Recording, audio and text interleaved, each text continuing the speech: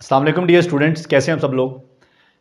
आज हमारा टॉपिक है मकैनिक्स में angular momentum for a rigid body बच्चों, इससे पिछले लेक्चर्स में हमने एंगुलर मोमेंटम पढ़ा है ऑफ़ अ सिंगल पार्टिकल उसके बाद हमने पढ़ा है angular momentum of a system of particles अभी हम पढ़ने जा रहे हैं angular momentum of a rigid body तो पिछले लेक्चर्स देखना ज़रूरी हैं अगर आप इस लेक्चर को समझना चाहते हैं। बच्चों इससे पीछे भी हमने angular momentum of a system of particles पढ़ा है। और रिजिड बॉडी जो है, वो भी एक सिस्टम ऑफ़ पार्टिकल्स होता है। रिजिड बॉडी में भी बहुत सारे पार्टिकल्स होते हैं, वो भी एक सिस्टम ऑफ़ पार्टिकल्स होता है। तो सिस्टम ऑफ़ पार्टिकल्स और रिजिड बॉडी फिर दोनों में फ़र्क क्या हुआ? इससे पीछे जो हमने सिस्टम ऑफ़ पार्टिकल पढ़ा था, बच्चों, वो डीफॉर्म सिस्टम था। यानी कि ऐसा सिस्टम जिसमें दो पार्टिकल्स के दरमियान डिस्प्लेसमेंट या डिस्टेंस फिक्स्ड नहीं होता। और अभी जो हम पढ़ने जा रहे हैं इसमें दो पार्टिकल्स के दरमियान जो डिस्टेंस होता है, वो फिक्स्ड होता है। तो रिजिड बॉडी में एक एक एक एक फॉर्म सिस्टम होता है, जिसमें दो पार्टिकल्स के दरमियान फिक्स डिस्टेंस होता है। जबकि डी फॉर्म सिस्टम में दो पार्टिकल के दरमियान डिस्टेंस फिक्स नहीं होता। तो अभी हम रिजिड बॉडी ले रहे हैं। और एग्ज़ाम्पल के तौर पर ये हमने एक सॉलिड डिस्क ली है। बच्चों, इस, ये सॉलिड डिस्क जो है, ये इस तरह से इस तरह से रोटेट कर रही है।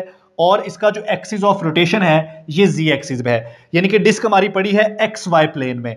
और इसका एक्सिस ऑफ़ रोटेशन क्या है? जी एक्सिस है। आप यूँ समझ सकते हैं कि इस तरह से डिस्क पड़ी हुई है, ठीक है जी? और इस तरह से रोटेट कर रही है, और ये उसका एक्सिस ऑफ़ रोटेशन है। बच्चों, अब डिस्क जो है, ये बहुत सारे पार्टिकल से मिलकर बनी है। ऐसा ही एक पार्टिकल हमने यहाँ पर सिलेक्ट कर लिया है। इस पार्टिकल का जो डिस्टेंस है जो पोजीशन वेक्टर है हमारे फिक्स्ड ओरिजिन से, बच्चों, वो है आर आई इसका मैस है एम आई और इसकी जो वेलोसिटी है, वो है वी आई चूँकि अगर आप एक सिंगल पार्टिकल की बात करें तो सिंगल पार्टिकल जब मूव करता है तो वो एक सर्कुलर पाथ में मूव करता है। तो उस सर्कुलर पाथ में मूव करते हुए उसकी जो वेलोसिटी होती है, वो हमेशा टेंजेंट टू द सर्कल होती है। ठीक है बच्चों? तो ऐसे बहुत सारे पार्टिकल्स मिलकर ये रिजिड बॉडी बना रहे हैं।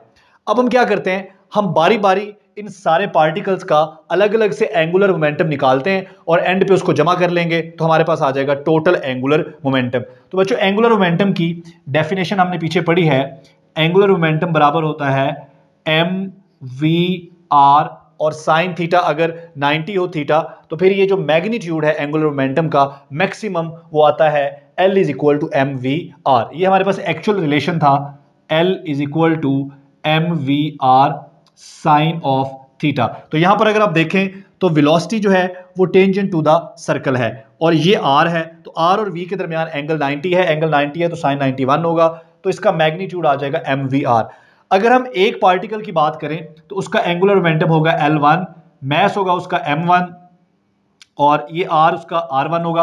अगर हम यहाँ पर वी को पुट कर लें, अगर हम वी को पुट कर लें बच्चों आर ओमेगा ठीक है, यहाँ पर तो ये एल हमारे पास बन जाएगा एम वी की जगह आ जाएगा आर ओमेगा और ये वाला आर तो ये हो जाएगा एम आर स्क्वेयर ओमेगा तो एल वन आ जाएगा m one r one square और ओमेगा बच्चों, ये जो जितने भी पार्टिकल्स हम यहाँ पर बना रहे हैं, जिस तरह हमने यहाँ पर एक पार्टिकल बनाया है, इस तरह एक पार्टिकल यहाँ भी हो सकता है, यहाँ भी हो सकता है, यहाँ भी हो सकता है. हर पार्टिकल का जो पोजीशन वेक्टर है, ये डिस्टेंस है from centre of centre of mass of the rigid body या दूसरे लफ्जों में, हर पार्टिकल का जो डिस्टेंस है, इस ओ से ओरिजिन से, वो डिफरेंट है। इसलिए सबका आर डिफरेंट है। सबका मैथ भी डिफरेंट है एम भी डिफरेंट है। लेकिन सारे के सारे सारे के सारे पार्टिकल्स एक ही रिजिड बॉडी के ऊपर हैं। ठीक है, जिस तरह आप एग्जांपल ले सकते हैं कि ये पेन एक रिजिड बॉडी है, ठीक है, और ये इसका ये इसका फिक्स्ड ओरिजिन है। अब ओरिजिन से जो पार्टिकल यहाँ पे है उसका डिस्टेंस और है, जो यहाँ पे उसका डिस्टेंस और है, जो यहाँ पे उसका डिस्टेंस और है, जो यहाँ पे उसका डिस्टेंस और है। लेकिन जब ये रिजिड बॉडी रोटेट करेगी तो इन सब की एंगुलर वेलोसिटी सेम होगी। सब की वेलोसिटी जो ट्रांसलेशनल वेलोसिटी है जो velocity tangent to the circle है, वो सब की डिफरेंट होगी, क्योंकि वो वेलोसिटी डिपेंड करती है आपका सेंटर से डिस्टेंस कितना है। लेकिन सब की एंगुलर वेलोसिटी सब की रोटेशन की वेलोसिटी क्या होगी? सेम होगी, क्योंकि सारे के सारे एक ही रिजिड बॉडी के ऊपर है, इसलिए सब की एंगुलर वेलोसिटी सेम होगी। तो एंगुलर वेलोसिटी के साथ हमें वन टू लिखने की ज़रूरत नहीं होगी।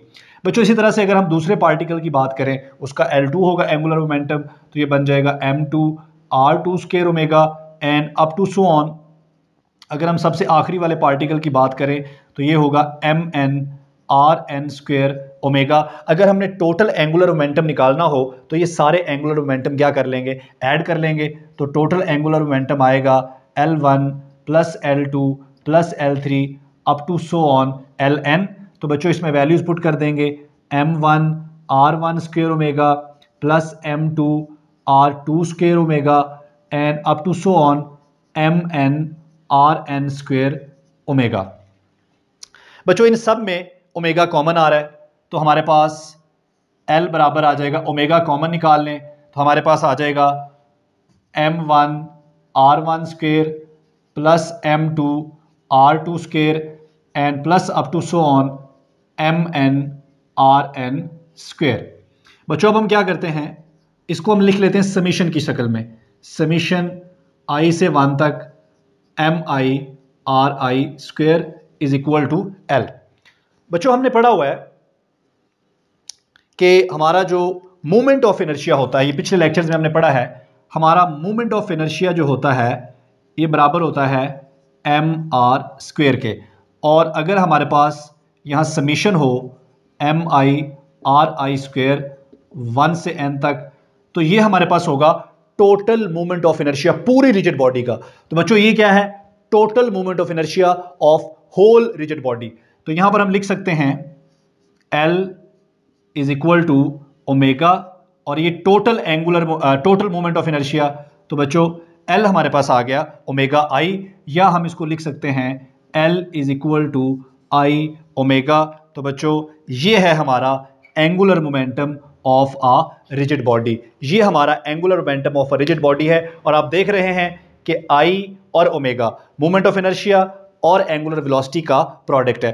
अगर इस इक्वेशन के साथ हम लीनियर मोशन की इक्वेशन लिख लें तो लीनियर मोशन में बच्चों, हमारे पास होता है P is equal to m v और L is equal to I omega बच्चों लीनियर मोशन में हमारे पास जो वेलोसिटी होती है, वो वी होती है और एंगुलर मोशन में वेलोसिटी ओमेगा होती है। लीनियर मोशन में हमारे पास मैस या इनर्शिया एम होता है और एंगुलर मोमेंटम में हमारे पास इनर्शिया मूवमेंट ऑफ़ इनर्शिया होता है। लीनियर मोशन में हमारे पास मोमेंटम पी होता है लीनियर मोमेंटम और एंगुलर मोशन में हमारे पास मोमेंटम एल होता है एंगुलर मोमेंटम बच्चों, इस इक्वेशन का अगर हम टाइम डेरिवेटिव ले लें तो ये हमारे पास बन जाएगा d l over d t is equal to d over d t of I omega बच्चों आई जो है, इसको हम, ये कांस्टेंट है, इसको हम बाहर लिख लेते हैं। ठीक है जी? हमारे पास आ गया d omega over d t और यहाँ पे क्या आ गया? D l over d t बच्चों, ये d omega over d t क्या है? Rate of change of angular velocity तो rate of change of angular velocity बच्चों किसके बराबर होता है? ये बराबर होता है एंगुलर एंगुलर एक्सेलरेशन के rate of change of angular velocity is equal to angular acceleration और यह है rate of change of linear momentum ये पीछे हमने प्रूव किया है कि rate of change of linear momentum जो है, ये बराबर होता है टॉर्क के। तो बच्चों, ये हमारे पास आ गया जी Newton second law for a rigid body यानी कि एंगुलर मोशन में अगर आप न्यूटन सेकेंड लॉ लिखेंगे किसी रिजिड बॉडी के लिए तो वो उसकी ये शक्ल होगी। तो ये हमारे पास टॉर्क एंगुलर एक्सेलरेशन और मूवमेंट ऑफ़ इनर्शिया के दरमियान एक नया रिलेशन बन गया. T is equal to I alpha बच्चों, दोबारा से फिर मैं आपको बता रहा हूँ कि ये दोनों रिलेशन उस वक्त वैलिड होंगे जब आपका ओरिजिन फिक्स होगा, जब आपका ओरिजिन फिक्स होगा और आपका जो फ्रेम ऑफ़ रेफरेंस है, वो इनर्शियल फ्रेम ऑफ़ रेफरेंस होगा. तो इसके साथ ही ये लेक्चर हमारा कंप्लीट हुआ. अगर कोई बात आपको समझ नहीं आई तो आप कमेंट करके ज़रूर बताइए क्वेश्चन पूछिए. अगर समझ आ गई है तो फिर भी कर दीजिए. Thank you. Allah Hafiz.